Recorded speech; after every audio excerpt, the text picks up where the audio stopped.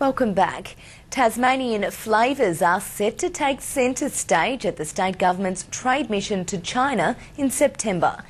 Wrest Point executive chef Andre Kropp will partner with the head chef of the Peninsula Shanghai Hotel to put on a spread for 300 market representatives at a Savour Tasmania gala dinner.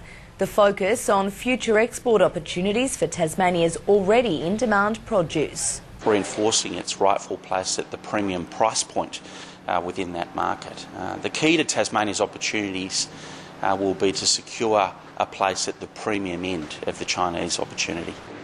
The menu will feature Tasmanian beef, apples and honey and plenty of seafood. Tasmanian staff will be among